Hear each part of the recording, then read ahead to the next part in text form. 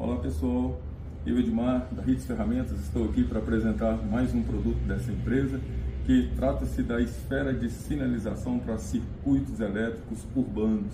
Né?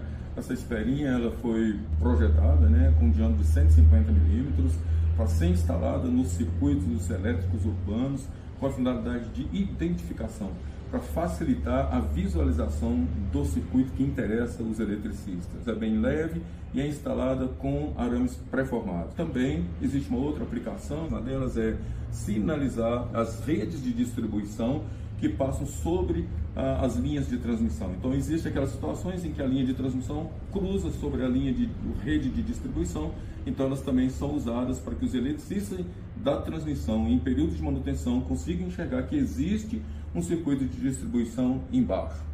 Né? Isso garante melhor a segurança da atividade. E também né, clientes nossos adquirindo essa esfera para fazer é, sinalização de style de torre, torre de transmissão, né? para evitar que os operadores das máquinas de, de, tratores de regiões agrícolas choquem com essas máquinas no, nos estais das torres, né? evitando assim acidente e problemas maiores.